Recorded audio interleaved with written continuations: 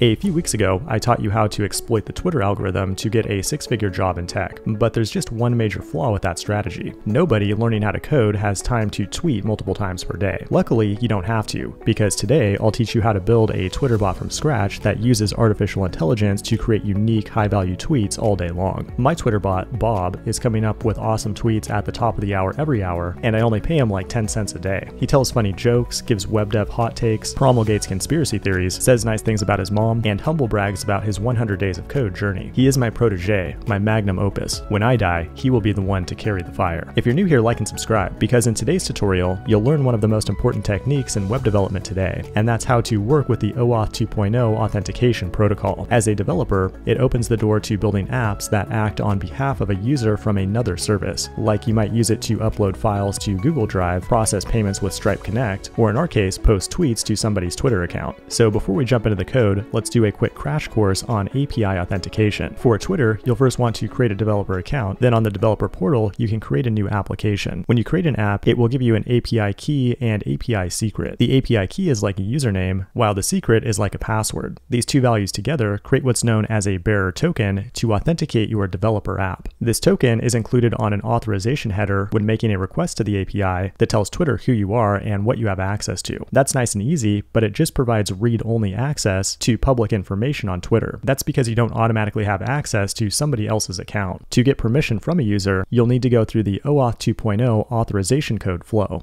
There are three steps in the process. On the server, you'll first need to create an authorization link that will redirect the user to Twitter where they can grant access to your application from the browser. Once permission is granted, Twitter will then redirect them to a different endpoint on your server, which is called the callback URL. That URL will also include a special code that you'll need to verify on the server. Once verified, Twitter will give you two values, an access token and a refresh token. You'll want to save these values in a database. The third step is to use the access token. That's the value that gives you access access to make API calls on behalf of the user. Now, the one problem though is that the access token will expire after a certain amount of time. It depends on what your app is trying to do, but if you want to post tweets in the background while your user is asleep, then you'll also need to refresh the token. For that, you make an additional call to the Twitter API with your refresh token, and it will respond with a new access token. This is a security measure that prevents a hacker from going absolutely crazy if your database is ever compromised. Now that you know how OAuth 2.0 works, let's actually implement it with some JavaScript code. I'm going to use Firebase Cloud Functions for this project, but feel free to use any Node.js server that you want. And also keep in mind that if you're building a real Twitter bot, you'll also need a database to store the access tokens. In this demo, I'll be using Firestore to handle that. All you need is a Firebase account, which is completely free. And if you want to get really good at Firebase, become a pro member at Fireship.io. I'll leave a discount in the description. To create a new Node.js project, I'll first run Firebase init functions from the command line. I'll cd into the functions directory and then install two dependencies. We have the Twitter API node Node SDK, and also the OpenAI SDK for GPT-3 that we'll look at later. Now, in the index.js file, we can create multiple serverless functions. Let's go ahead and do that for all three steps in the process. First, we have auth, which will generate the authentication link. Then we have the callback URL, and finally, we have an endpoint to do something interesting with the API. Now, we're working in a trusted server environment, so I'm going to import Firebase admin and call admin initialize app. This will give us access to the Firestore database, giving us a place to store the access tokens. In fact, I'm going to make a reference to a document in the database right now, which you can think of as a JSON document that we read and write to. Now from there, we'll want to initialize the Twitter API. There are a few different ways to do it, but in our case, using OAuth 2.0, we'll want to instantiate it using the client ID and client secret. To get those values, we'll need to go back to our Twitter app and select OAuth 2.0 from the authentication settings.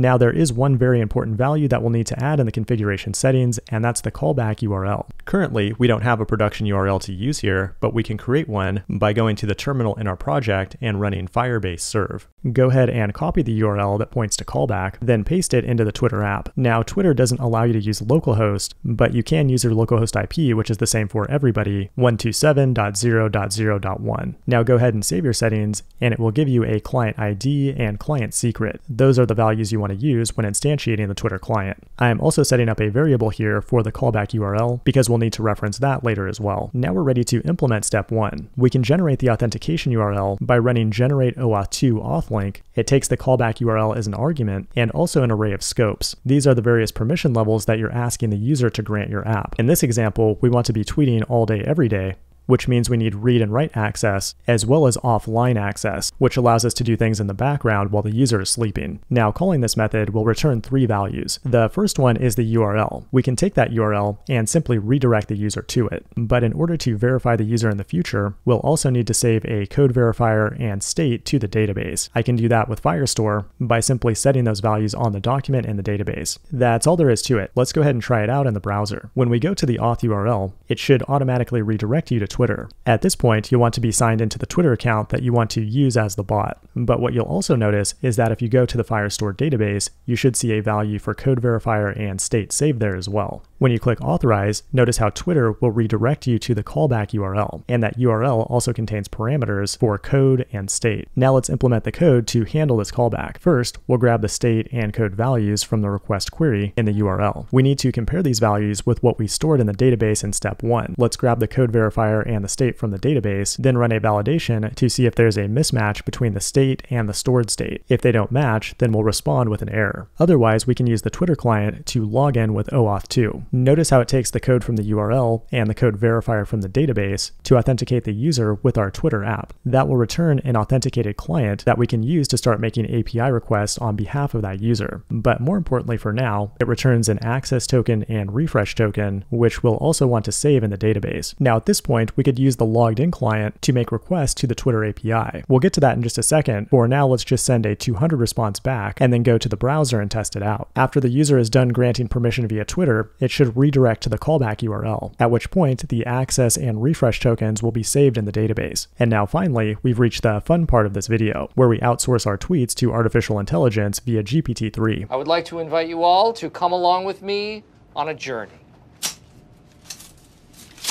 In the third endpoint, the first thing we'll do is access the refresh token from the database. Now let's assume that a few hours have passed and we want to re-access the user's Twitter account. We can do that by calling the refresh OAuth 2 token method, which will give us a brand new access token and also a client where we can start making API calls. When we get the new access token, we'll want to also save that to the database. Dealing with the refresh token is only required if your Twitter bot does things in the background, because otherwise your app could just use the access token that wouldn't be expired yet. In any case, we can now use the Twitter client to do things like access the user's profile information or to send a tweet on their behalf. And there's all kinds of other things you could do as well, like send DMs, retweets, or any kind of other pointless activity you can imagine doing on Twitter. For example, let's go ahead and use the client with version 2 of the API to access their profile using the me method. That will give us some JSON data, which we can send as the response, then when we open the function in the browser, the result is an object with that user's profile data. Now let's take things to the next level with OpenAI. You'll first need an OpenAI account to access GPT-3. Then you'll need to grab your organization ID and API secret, which are then used to initialize the Node SDK in our JavaScript code. Now tweeting is about to become the easiest thing you've ever done in your life. To create a new tweet, go back into the function code, then call OpenAI create completion. It takes an AI model like DaVinci as its first argument, then a prompt as the second argument. If we prompt it to give us a tweet, it will generate a unique tweet on the fly. I want to point out that in the full source code, I did some randomizing to give it over 10,000 potential prompts, resulting in a greater variation of tweets. This code is top secret to just me and Bob, but play around with the prompt to see what kind of interesting results you get. Now, all we have to do is take that text and then call the tweet method on the Twitter client. Congratulations, you just built an AI-powered Twitter bot. Call this function from the browser, then go to your Twitter account, and you should see the new tweet posted there. Now all you have to do is create a cron job to run this in the background a few times a day, and after a few months, you should have all kinds of six figure job offers in your DMs. If you found this tutorial useful and want to build more complex apps, I have multiple